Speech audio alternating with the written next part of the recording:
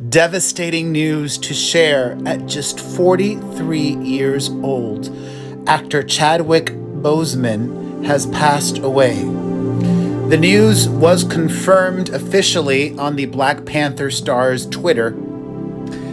They revealed that he bravely had been battling colon cancer since 2016. My deepest condolences to his wife, his family, all of his loved ones, and his fans worldwide.